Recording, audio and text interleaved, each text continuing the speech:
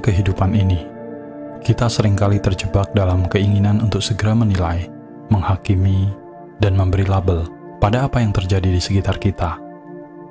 Namun, sejatinya hidup ini adalah perjalanan panjang yang penuh dengan misteri, penuh dengan tikungan dan belokan yang tak terduga. Dan di tengah perjalanan ini, ada sebuah kisah yang mampu membuka mata hati kita tentang bagaimana seharusnya kita memandang segala hal yang datang dalam hidup kita. Kisah ini adalah tentang seorang petani miskin dan seekor kuda putih, yang meskipun petani ini hidup dalam keterbatasannya, namun memiliki kebijaksanaan yang mendalam, jauh melampaui apa yang dapat dilihat oleh mata telanjang. Kisah ini akan mengajarkan kepada kita tentang kebijaksanaan, kesabaran, dan rasa syukur yang tulus. Tidak perlu berlama-lama, langsung saja ayo kita mulai. Dahulu kala, di sebuah desa yang jauh dari hingar-bingar kota, hiduplah seorang petani sederhana yang memiliki sebuah harta berharga. Harta itu adalah seekor kuda putih yang gagah dan menawan.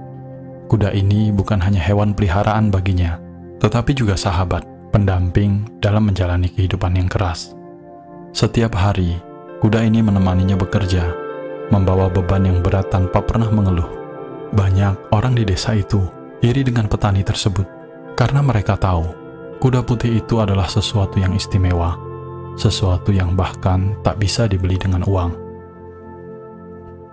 Suatu hari, seorang saudagar kaya datang ke desa itu. Matanya langsung tertuju pada kuda putih milik si petani.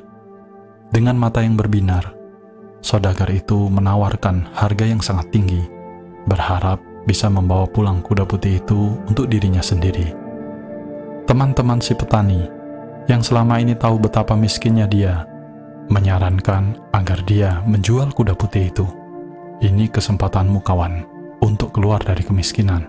Kata mereka, dengan uang sebanyak itu, kamu bisa hidup nyaman selamanya. Namun, si petani hanya tersenyum dan menggelengkan kepala. Baginya, kuda itu bukan sekadar hewan.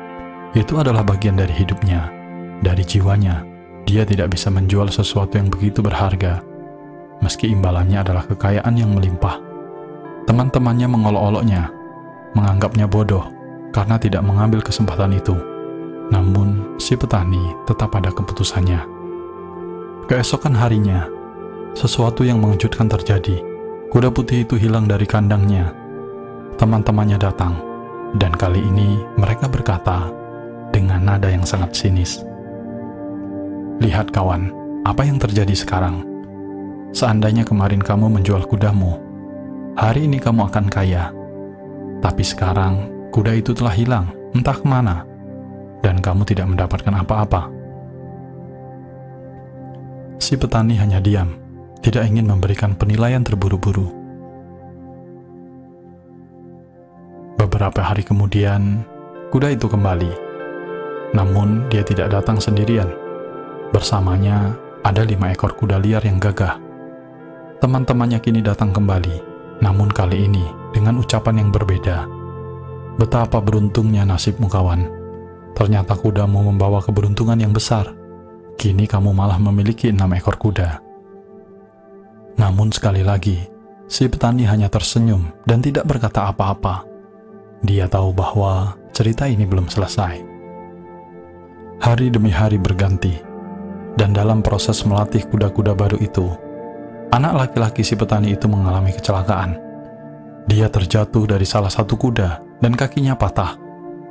Teman-temannya yang dulu memuji keberuntungannya, kini kembali dengan keluhan. Oh kawan, sungguh malang nasibmu. Anakmu kini terluka karena kuda-kuda itu. Rupanya apa yang kita anggap sebagai keberuntungan sebenarnya membawa kesialan. Si petani ini tetap tenang tidak memberikan penilaian. Dia tahu bahwa kehidupan berjalan dalam siklus, dan dia tidak akan terburu-buru menilai apakah ini baik atau buruk. Seminggu kemudian, desa mereka terlibat dalam perang besar. Semua pemuda di desa dipaksa untuk pergi berperang, kecuali anak petani yang kakinya patah. Teman-temannya kini datang dengan air mata di mata mereka. Kawan, betapa beruntungnya dirimu Anakmu selamat dari perang, karena kakinya patah. Sementara kami harus merelakan anak-anak kami pergi ke medan perang tanpa tahu apakah mereka akan kembali atau tidak. Mendengar itu, si petani akhirnya berbicara, "Janganlah terlalu cepat membuat kesimpulan dengan mengatakan nasib baik atau buruk." Katanya dengan suara lembut namun penuh kebijaksanaan. Segala sesuatu yang terjadi dalam hidup ini adalah bagian dari proses yang panjang. Apa yang terlihat baik hari ini mungkin tidak akan baik besok, dan apa yang terlihat buruk hari ini mungkin akan membawa berkah yang tak terduga di kemudian hari. Syukuri dan terimalah setiap keadaan, karena itu semua adalah bagian dari perjalanan kita. Dalam kehidupan sehari-hari, kita sering menghadapi situasi yang tidak sesuai dengan harapan kita Mungkin kita kehilangan sesuatu yang berharga, menghadapi kegagalan, atau merasakan kekecewaan yang mendalam. Ketika hal-hal seperti itu terjadi, reaksi pertama kita sering kali adalah merasa marah, sedih, atau putus asa. Kita cepat memberi label pada peristiwa itu sebagai kesialan atau musibah tanpa benar-benar tahu apa yang akan terjadi di masa depan. Namun, kisah sederhana tentang petani dan kuda putih ini mengajarkan kita sebuah kebijaksanaan yang dalam, bahwa kehidupan ini tidak bisa dilihat hanya dari satu sisi saja.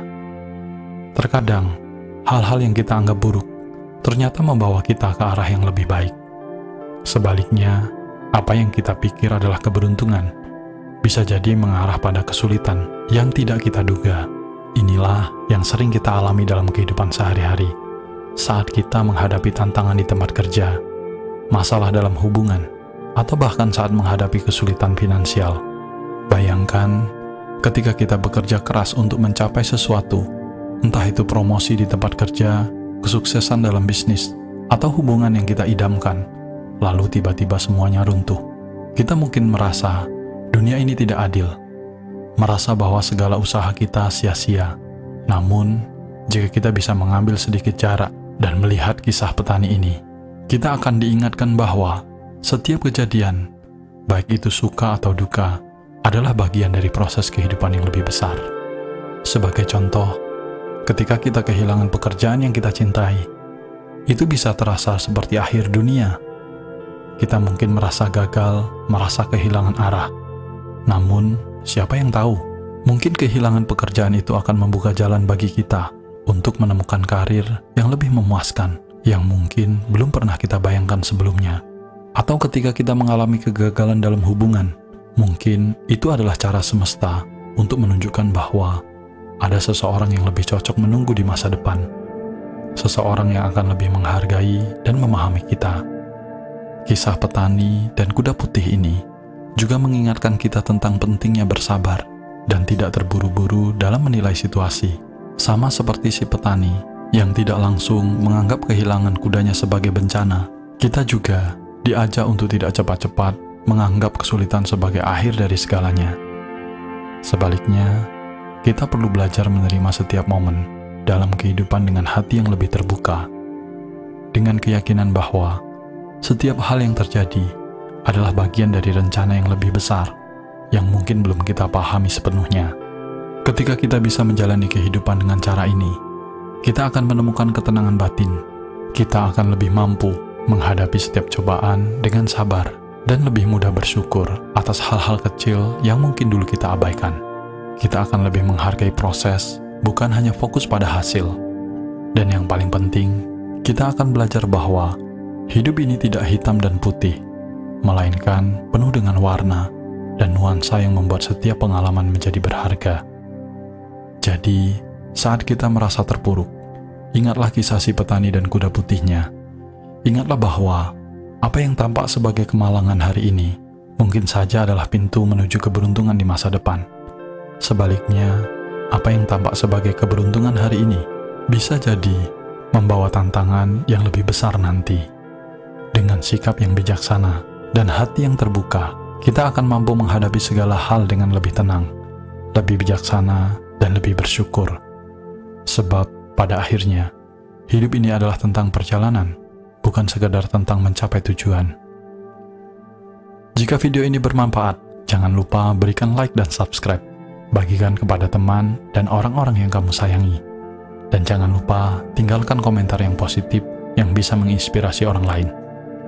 Cukup sampai di sini video kali ini, dan semoga semua makhluk hidup berbahagia.